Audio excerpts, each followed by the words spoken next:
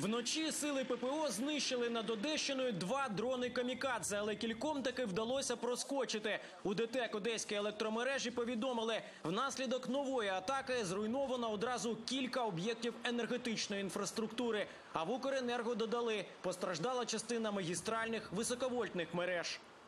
Наразі ситуація в регіоні дуже складна. Ремонтні бригади працюють над поданням електроживлення на об'єкти критичної інфраструктури, лікарні, водоканал, очисні споруди. Але відновлення електроживлення для побутових споживачів може зайняти більше часу через великий обсяг пошкоджень.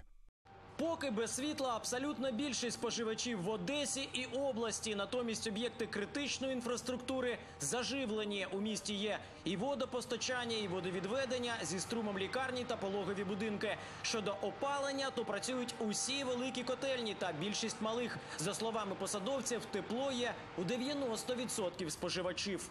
Решта це ті мешканці, які проживають ем, е, в багатоповерхових будинках, які отримують тепло від малих котелень. На жаль, їх не можна виділити в окремі е, якісь линії для того, щоб подати на них електрику.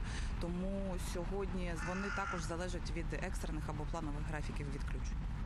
Зараз у регіоні діють екстрені відключення. Енергетики роблять все можливе, щоб якнайшвидше відновити електропостачання. При цьому ситуацію ускладнюють інші аварійні випадки. Приміром, як на цій трансформаторній підстанції в одному зі спальних районів Одеси. Тут через надмірне електроспоживання людьми перегоріло обладнання. Енергетики все відремонтували, але подібних аварій десятки по місту Горела она, а был пожар. Приехали сразу, кстати, мы на это обратили внимание и латали. Очень благодарим энергетиков. Мы же знаем, какая обстановка.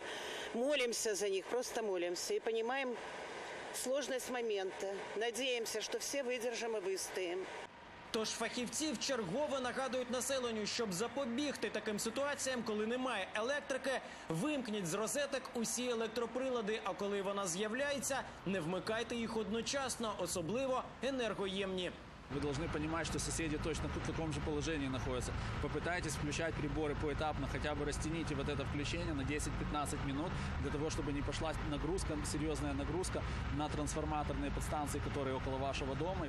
Поки ж в Одесі та області працюють усі пункти незламності. Тут люди заряджають телефони та гаджети. У деяких є також інтернет.